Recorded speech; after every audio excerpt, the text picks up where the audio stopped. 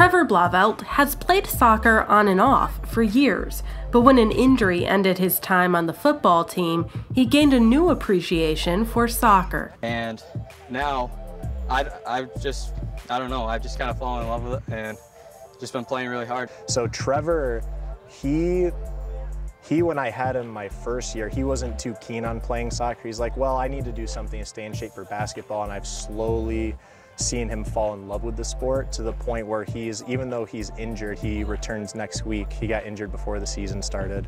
He um, is asking any like what can I do to be a part of this? Can I do this with the team? Can I do this? Even if I just like pump up the soccer balls, I want to be here. Like he he's one of the biggest team motivators we have. I try to keep us excited. I try to keep us in it, keep us hyped up. Uh, yelling, I guess, has kind of become my thing. I've kind of the team, team cheerleader at this point. Uh, but just just trying to uh, tell people like what they're doing well and how they've played well and stuff like that, and the small things that they've done well has been big because uh, you know if if you just mess up on a play, but then you hear that you did something really well, then it, it helps you to stay in the game.